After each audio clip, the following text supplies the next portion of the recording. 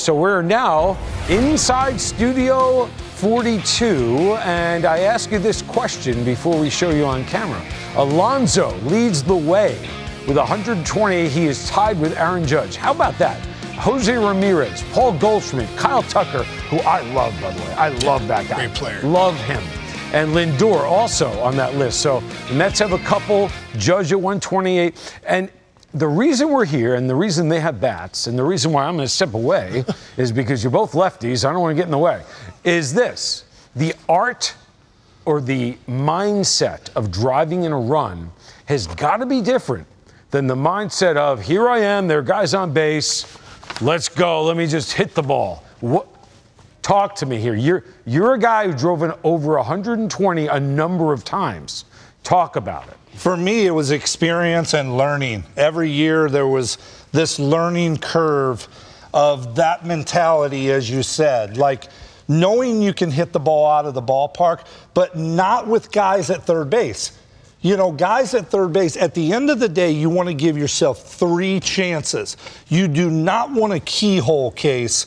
It, that ball that's a little bit off the plate, if a righty comes, say a righty's out there and he throws a backdoor breaking ball to try to get strike one, early in the game with guys not on, you might take that pitch. With guys at third base, that might be the best pitch you're going to get in that at bat. So I always try to look at it. I want to try to give myself three chances and expand a little bit. That that was a, as I as I learned and got a little bit older in the game. Nothing drives me more crazy, Jimmy, is like, you know, what a guy like you that drove in 130 runs, drove in 124 runs. Nothing drives me more crazy when they say, hey, RBIs are just a team thing. Guys get on base and these guys drive in. No, driving in runs is an art. It really is. Like just, you know, you don't what Alonso's doing at 128 and Judge at 128. Oh. These guys aren't just hitting home runs. They're finding ways to, to, to, to, drive drive runs in.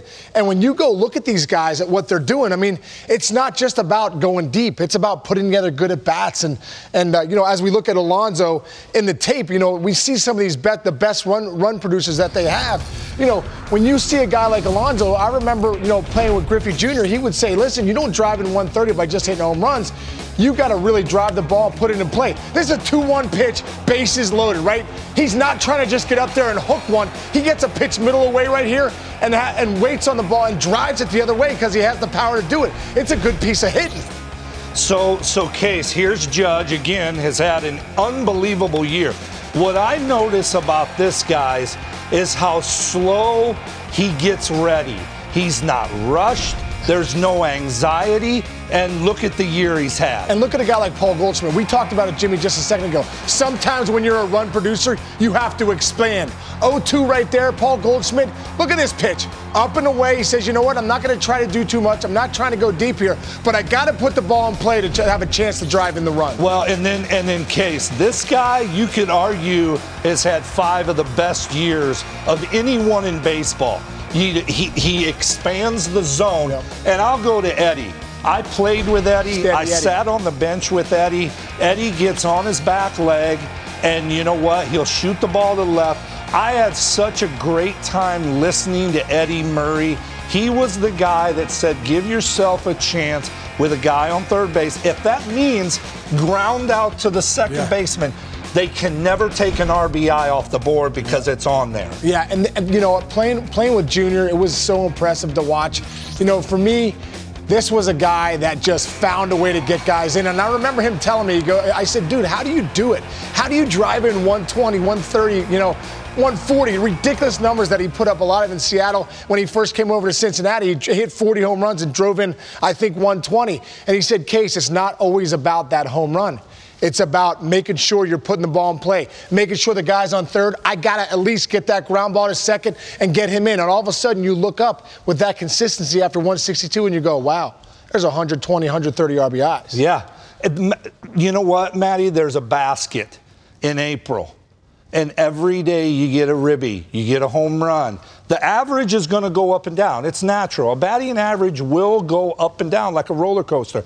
A run scored. These are all things in April when you look up in September and you can, like a Goldschmidt, you consistently just play the game all these little things add up. A little ground ball to the second baseman getting that guy in means a lot. It means a lot, yes, to personal statistics, but more so to your team. Team. You know, my observation from being at the ballpark often is the guys in BP who are hitting the ball if they're righties and they're hitting the ball to right, and they're working on doing the little things rather than putting on a home run show.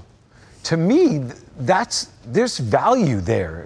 Did you did you work on things? Yeah. Oh, oh, listen, the power of, of, of being deliberate, the power of intention in batting practice. Listen, there's probably most big league players, those first couple rounds, they're trying to go the other way and they're trying to create that bat path because they know in the game you can pull. So, yeah, there's no doubt. You watch a big league batting practice, you're going to see the power of being deliberate and the power of intention with these guys of working the balls in the gaps and maybe trying to juice a couple of those last couple rounds. Absolutely. I, I think the BP part, especially early, was maneuvering the baseball and know you could do it. You know, like during the game, like I remember watching Griffey going into the Kingdome, going out there and watching him take early BP. And Charlie Manuel would comment, like, Jim, you watch tonight in the game, he's going to look the same way.